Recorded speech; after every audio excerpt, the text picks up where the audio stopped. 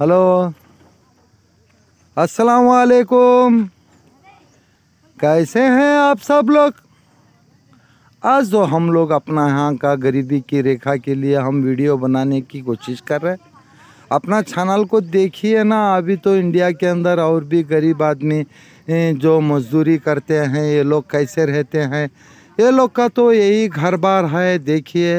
ये लोग तो आगे के वजह से तो ये घरों के अंदर रहते हैं और ये लोग तो बताते हैं कि स्लैब जो घर बनाते हैं, ऊपर का जो स्लैब रहता है, उसी का काम करते हैं।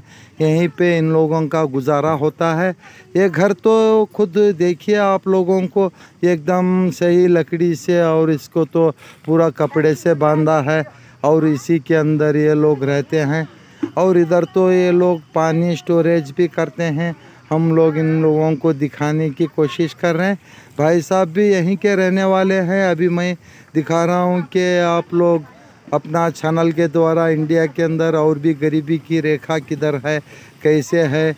और इन लोगों को पानी भी नहीं है तो कभी ये लोग इधर से टैंकर से लगा के इधर स्टोरेज कर लेते हैं और लोग ये लोग को तो घर बाहर यही है, बारिश अगर से आएगा तो ये लोग तो प्लास्टिक का ये जो पेपर है इसके ऊपर बाँध के रखा है। सबसे पहले ये जो घर कभी भी बनाते हैं, पूरा ये जो बम्बू के इससे ये लोग ये हिसाब से घर पहले बांधते हैं। इसके ऊपर तो कपड़ा और प्लास्टिक से इसको पैक करके इसके अंदर घर बना देते हैं। अपना चैनल के द्वारा इंडिया में गरीबी की रेखा कितना है और कैसा है करके हम लोग दिखाने की कोशिश कर रहे हैं। अपना चैनल को थोड़ा सा सब्सक्राइब कीजिए शेयर कीजिए। हम लोग आने वाले दिनों में हम लोग और भी अच्छे से एपिसोड आप लोगों को बनाने की कोशिश कर रहे हैं।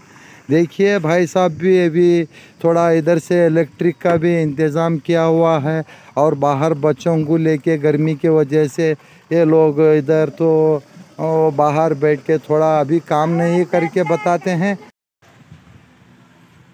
अभी तो ये लोग गर्मी के वजह से बच्चों को बाहर लेके ऐसे ही गुजारा करते हैं, हवा लगती करके।